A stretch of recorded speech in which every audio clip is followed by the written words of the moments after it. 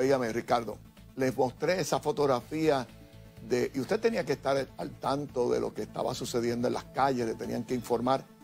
Eh, usted veía ahí, esa es una mezcla de gente joven, pobres, ricos, salieron a las calles.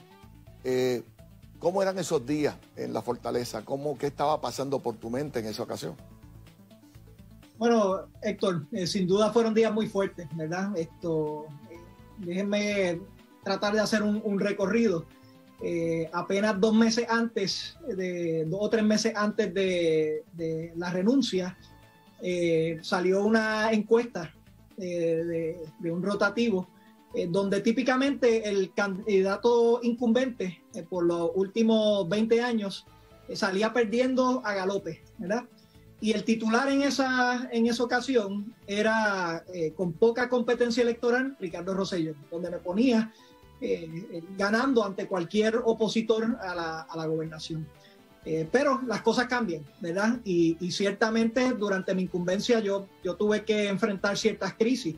Me tuve que enfrentar la crisis del huracán María, tuve que enfrentar una crisis fiscal el día que juramenté, eh, una crisis económica y lo que se tornó en una crisis social eh, en mi último mes en, el poder.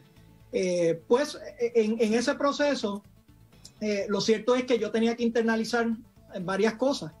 cuando uno enfrenta una crisis al principio, uno va de frente, se expone al pueblo, pone su punto de vista, que es lo que tradicionalmente yo hacía. a lo largo del proceso me di cuenta de, varias cosas eh, muy, muy importantes, ¿verdad? Eh, lo primero es que mi familia corría peligro. Nosotros, eh, siempre un gobernador tiene ciertas amenazas, pero ya cuando esas amenazas son numerosas y en contra de sus hijos o, de sus padres o de su esposa, pues la cosa cambia, ¿verdad? Y, con la seriedad que esas amenazas venían hacia, hacia acá.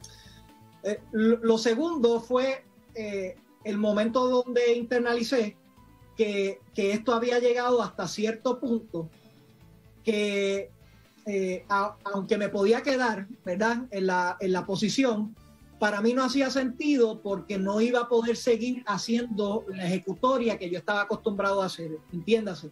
Yo entendí que llegó un punto donde ya el ánimo, ¿verdad? Y la, y la percepción pública eh, iba a ser un obstáculo a cualquier gestión gubernamental.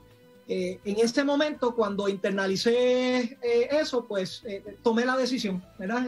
hay gente que está de acuerdo, hay gente que, que no está de acuerdo, pero, pero lo hice y cuando internalicé eso, mi próximo paso, ¿verdad? Y, ustedes lo vieron, no fue dejar una carta e irme, esto, yo quise establecer una transición porque me preocupaba la fragilidad que se encontraba era nuestra democracia, nuestro sistema en ese, en ese momento.